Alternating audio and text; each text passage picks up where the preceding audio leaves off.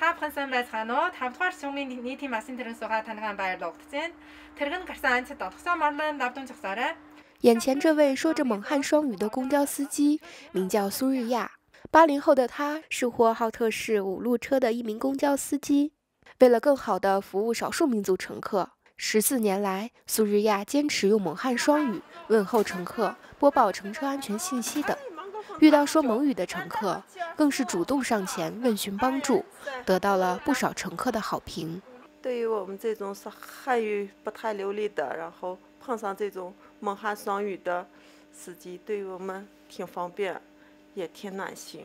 苏瑞亚告诉记者，起初他用蒙汉双语服务，是因为他驾驶的公交车途经内蒙古多所大学，在车上经常会遇到不会说汉语的蒙古族学生。为了方便与他们交流，苏日亚便主动说起蒙语来。再后来，苏日亚的蒙汉双语服务帮助了越来越多的乘客。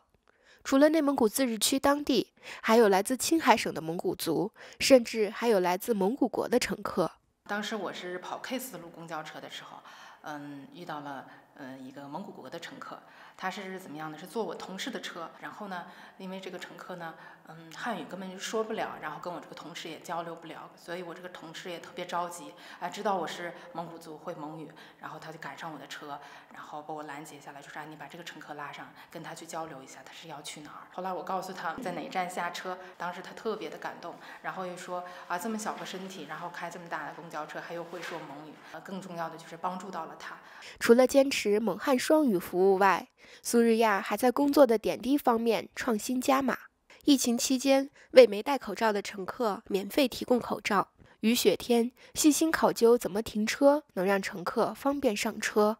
遇到腿脚不便的乘客，他会主动下车搀扶。多少年来，不少乘客还与苏日亚成为了好朋友。二零一八年，公交公司以他的名字成立了苏日亚创新工作室。倡导更多的人加入到他的服务队伍中来。因为从最初我用这个蒙汉双语，呃，服务呢，嗯，服务到了很多的这个呃蒙古族乘客，还有包括这个蒙古国的乘客，我就觉得这个蒙汉双语这样的服务呢是有必要的，嗯。